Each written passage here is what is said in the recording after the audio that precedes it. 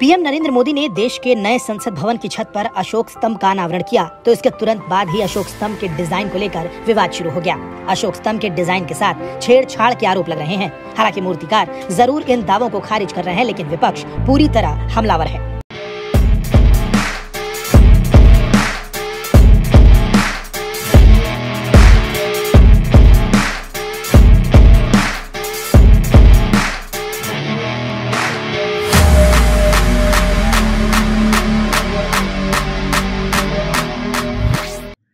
जय भीम दोस्तों, मैं रजत मौर्य, आप सभी का स्वागत करता हूँ बहुजन साहित्य के इस विशेष कार्यक्रम में, जहाँ पर कि हम लोग बात करेंगे सम्राट अशोक के अशोक स्तंभ के बारे में, जिसे कि 1950 में बतौर भारत का राष्ट्र चिन्ह अपनाया गया था। उसके साथ जो छेड़खानी की गई है, उसके ऊपर भी हम लोग चर्चा करेंगे और उसके साथ हम ये समझेंगे कि उस अशोक स्तंभ का इतिहास क्या है। उस अशोक स्तंभ पर जितनी कलाकृतियाँ बनी हैं, उनके क्या मायने हैं और उनके मायने बौद्ध धर्म में क्या हैं? वो कलाकृतियाँ किस तरीके से सिंधु घाटी सभ्यता से जाकर जुड़ती हैं, जिनका की इस्तेमाल आज तक के भारत में किया जा रहा है। अगर आप लोग चाहते हैं कि बहुजन साहित्य लगातार इसी तरीके से अपना काम करता रहे तो आप सभी से निवेदन है कि बहुजन साहित्य की आर्थिक मदद कीजिए।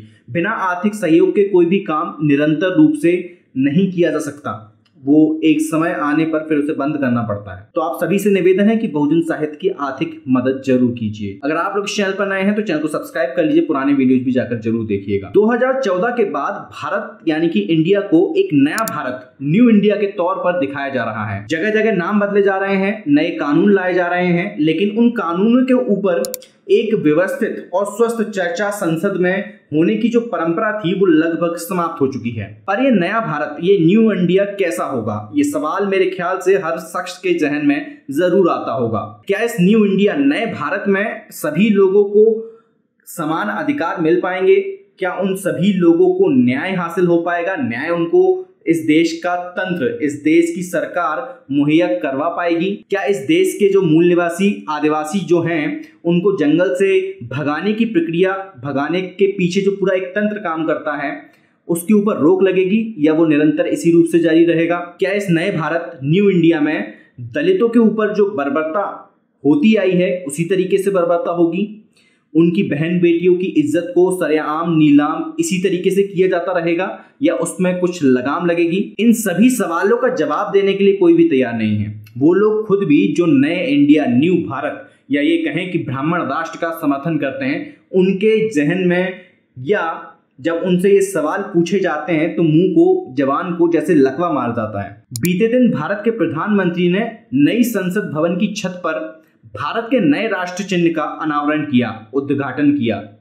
ध्यान से सुनिए, भारत के नए राष्ट्र चिन्ह का अनावरण, उद्घाटन किया। नई संसद भवन की इमारत, नया भारत और नया राष्ट्र चिन्ह। इस नए राष्ट्र चिन्ह के ऊपर भी बात करेंगे, लेकिन पहले बात कर लेते हैं भारत के पुराने राष्ट्र चिन्ह के ऊपर। भारत के पुराने राष्ट्र चिन्ह को 26 जनवरी 1950 को बतौर राष्ट्र चिन्ह अपनाया गया था। यह राष्ट्र चिन्ह अखंड भारत के सम्राट महान सम्राट अशोक द्वारा बनवाए गए अशोक स्तंभ से लिया गया है। इसकी मूल मूर्ति सारनाथ के संग्रहालय में रखी गई है। इस अशोक स्तंभ को लगभग तीन भागों में बांटा जा सकता है। पहला, निचला भाग, जहाँ पर कि हमें एक कमल के फूलनुमा आकृति दिखाई देती है। वो कमल का फूल उल्टा रखा गया है। दूसरा स्तंभ का मध्य भाग, जिस पर कि चार जानवरों की आकृति उकेरी गई है, जिसमें कि बैल, घोड़ा, हाथी और शेर।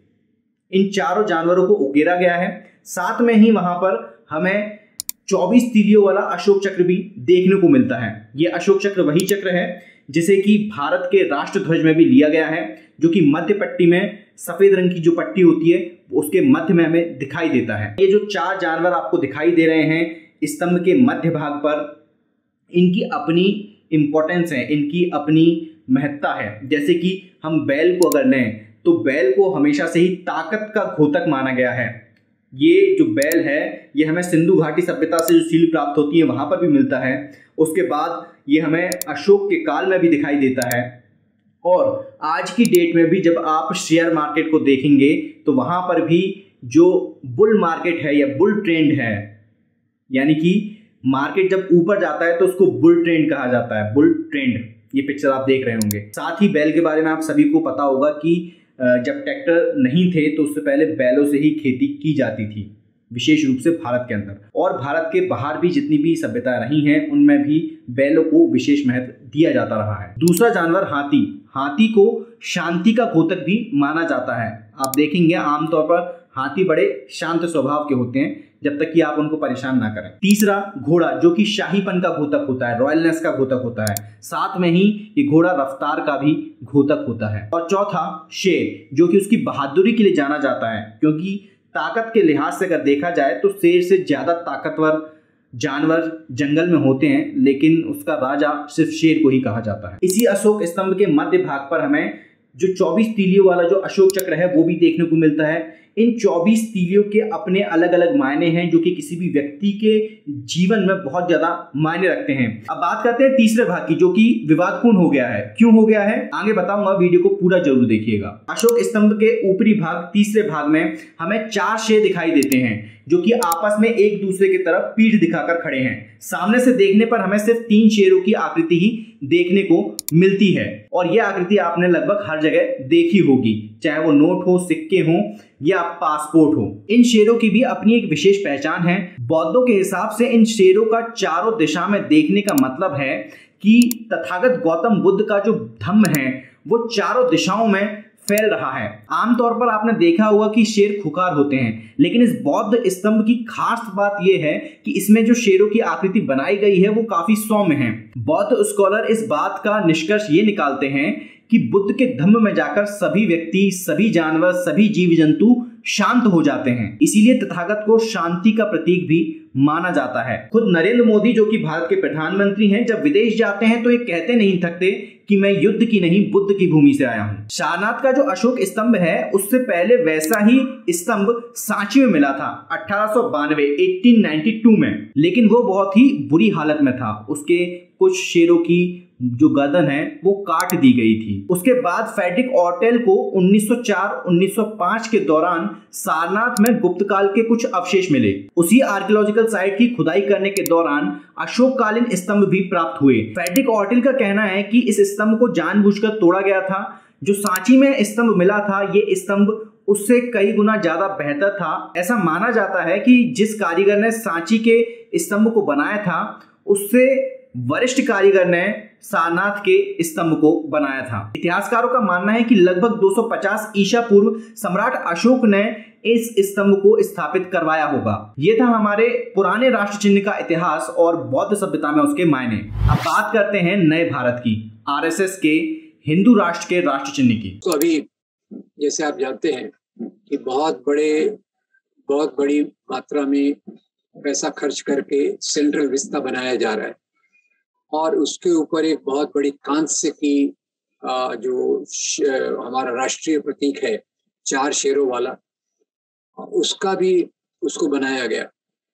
जब मैंने देखा तो मैं हैरान हो गया और ये हमारे राष्ट्रीय प्रतीक से बिल्कुल नहीं मिलता।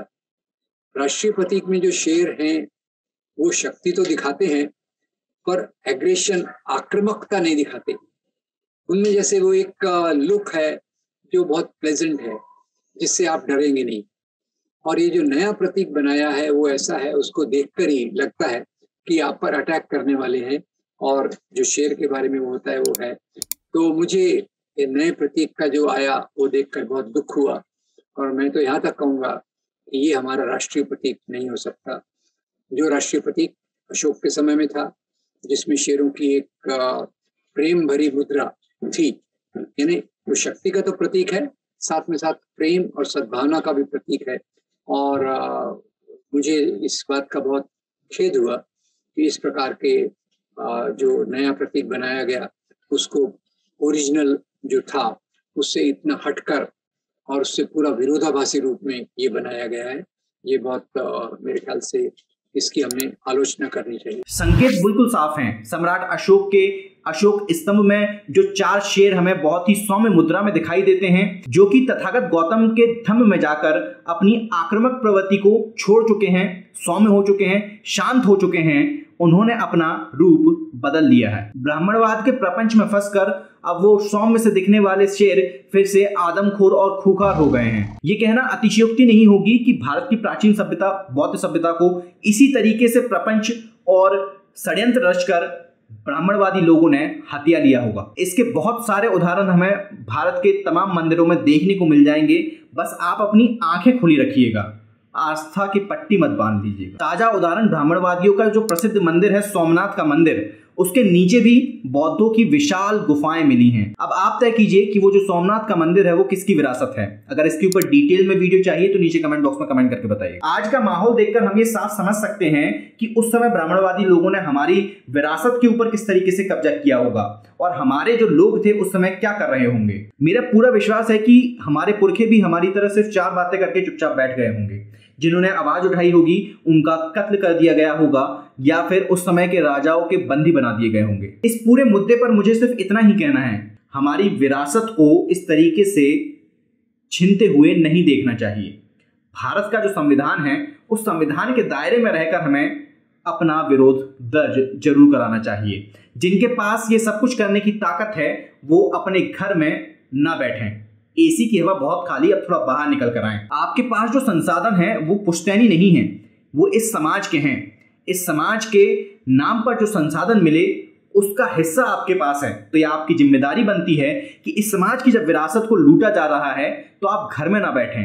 जो भी मुमकिन एक्शन लिया जा सकता है, वो लिया जाना चाहिए। खैर, आखिरी में मैं आप सबका स्वागत करता हूँ ब्राह्मण राज में। अभी भी वक्त है, चेत जाइए। अपनी विरासत को इस तरह लुटने न दीजिए, वरना आने वाली नस्लें आपको बख्शेंगी नहीं।